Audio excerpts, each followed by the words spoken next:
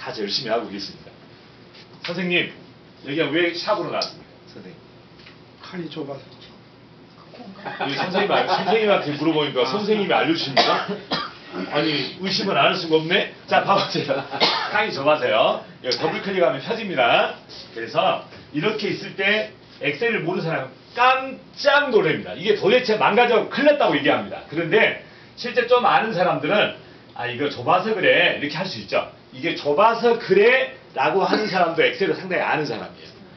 엑셀을 모르는 사람은 이게 조금만 이상하게 보여도 벌벌벌 떨어요. 왜냐하면 숫자가 움직이기 때문에. 아시겠죠? 그래서 이걸 갖다 저장해서 나 요번에 이거 가지고 전시할래 라고 해서 먼저 이걸 추려야 돼요. 그 다음에 파일에 가서 정리해서 끝내면 이게 하루 저녁에 1시간 정도 주면 내가 TV만 딱 구청돼 있으면 전시할 거 20점, 30점 그냥 추려냅니다. 이렇게 해서. 여러분들이 이게 처음에 TV 작업을 잘해놔야 돼요.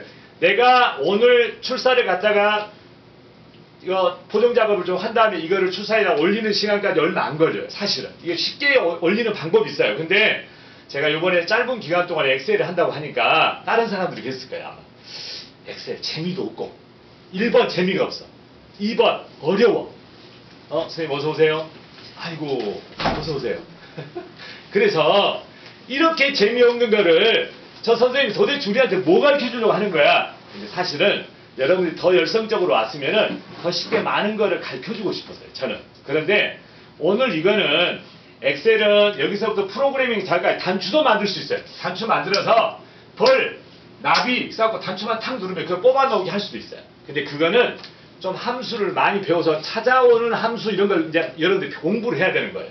근데 여러분들이 거기까지 안 갔기 때문에 쉽게 하는 방법을 제가 알려드리는 건데 엑셀 자체가 젊은 친구들도 너 엑셀 잘하니? 잘 못해요. 애들이. 그리고 이제 조건문이라고 해서 우리 조건이라고 있어요. 이게 맞으면 이게 뭐 하면 그때 누가 와서 카메라를 부셔버렸을 때 찍은 사진을 찾아주세요. 그러면 그 조건을 다 줄 수 있어요. 이렇게 해서.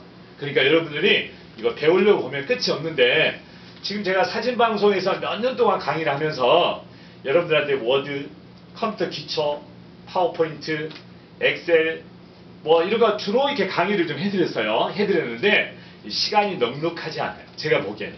원래 제가 강의를 하면 요번에 1시간 반 동안 이렇게 잡아서 쭉 했잖아요. 근데 사실은 2시간만 제가 강의하면 항상 2시간씩 강의를 했었어요. 지금까지.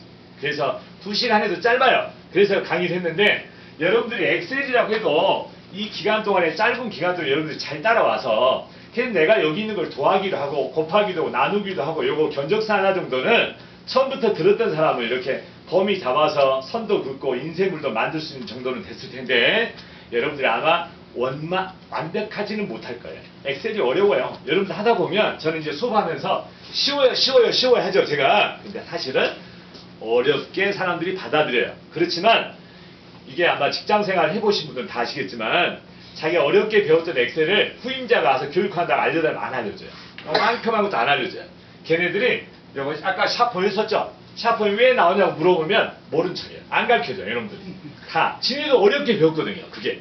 그렇게 아마 여기서 직장생활 해보시면 아실 거예요. 알고 보면 별것도 아니에요. 근데 안 알려줍니다. 지금도 제가 기업체 강의 나가보면 그 친구들이 알고 보니까 별것도 아니구만 그러면서 이 나가는 애들이 많아요. 그래서 이제 여러분들 아마 이런 것들을 가지고 실제로 요거를 DB화 시켜서 사진을 여기다 사진 파일을 넣어서 저는 사실 그렇게 하고 있어요. 그래서 제가 전시회를 뭘로 한다 그러면 이게 출연되는 시간이 얼마 안 걸려요. 근데 여러분들은 종일 어디다 저장한지도 몰라.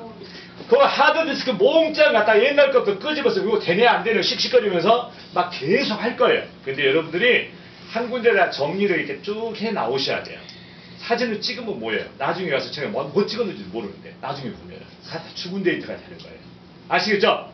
오늘 제가 여기까지 수업을 하고 김 대표님 말씀을 오늘 좀 듣고 오늘 여기 마무리하도록 하겠습니다. 감사합니다. 질문, 질문이 있어요. 아 예, 예. 이 엑셀은 지금 문서하고 숫자만 이렇게 쭉 나열이 되는데 사진을 어디다가 저장하는 거예요? 아 사진은 네. 따로 저장해서 네. 사진을 여기서 출연한 거를 우리가 검색 작업이라고 해서 네. 그걸 찾아가 나중에 혹시 그런 기회가 되면 사진 파일을 정리하는 하드를 넣고 정리해서 뽑아내는 작업을 또 여러분 보셔야 돼요. 아, 탐색기하고 예. 탐색기에서 뽑아내는 거예요. 예, 그거 가능해요. 파일명만 찾아가지고 탐색기에서 뭐 연결을 안 되잖아요. 원래 링크도 할 수 있어요. 링크라고 해서 딱 누르면 글이 이렇게 통하게 되게 할 수 있어요. 예, 근데 이거. 예, 이거 좀 시간 오래 걸립니다. 그렇게 하려면.